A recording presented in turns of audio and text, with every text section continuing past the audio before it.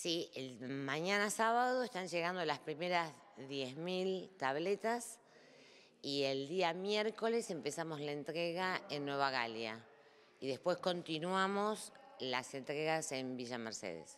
Bueno, en el caso particular de Nueva Galia vamos a entregar a, los jubilados que, tienen sus cuentas en la sucursal del Banco Supervil de Nueva Galia, a las personas que trabajan beneficiarios del plan de inclusión de Nueva Galia y a los alumnos de la escuela primaria que cursan primero y segundo grado.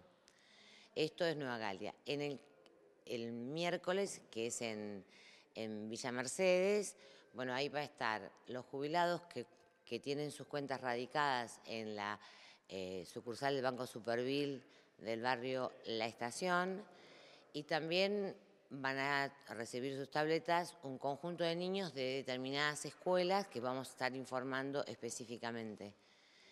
Eh, bueno, y después continuamos. Bueno, los beneficiarios tienen que presentar, eh, si tienen CIPE, en el caso de los jubilados, con la CIPE alcanza. Si no tuvieran CIPE al momento de la entrega, van a tener que presentarse con su DNI, tengo que remarcar que no es que cualquier jubilado, tienen que tener la cuenta en la sucursal de ese banco y en cada mesa de entrega vamos a tener qué beneficiarios van a recibir esa tableta, para, que no vaya gente que no corresponde. Deben presentar la CIPE si la tienen y si no la tienen con el DNI.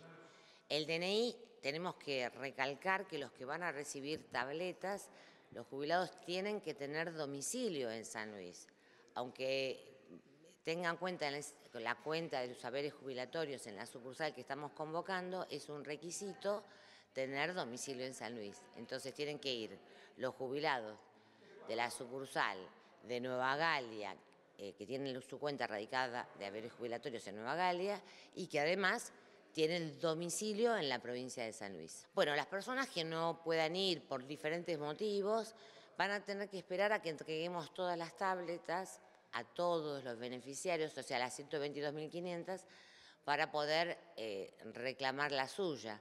Esto es porque, bueno, son muchas tabletas, es mucho el, digamos, las tareas que tenemos que hacer y no podemos dejar un grupo eh, indicado. De todas maneras, hay que llevar mucha tranquilidad. Nadie le va a sacar la, tableta a otra persona, entonces si no lo reciben ahora la van a recibir después. Y en el caso de ir con un DNI, o sea, no tengan CIPE, las personas van a tener seis meses para tramitar su CIPE a partir de la fecha que la recibieron.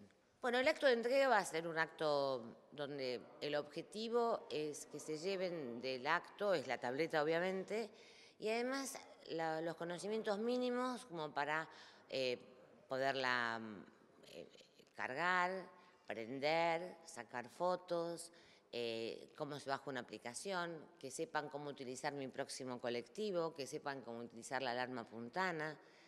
Es decir, la idea del acto es recibir la tarjeta y tener una primera formación respecto del uso que le pueden dar a la tableta. Bueno, queremos que sea muy sorprendente porque queremos que sea un acto eh, descontracturado, eh, donde la gente se sienta cómoda, donde estén contentos de haber ido, eh, no una cosa institucional, sino algo mm, amable.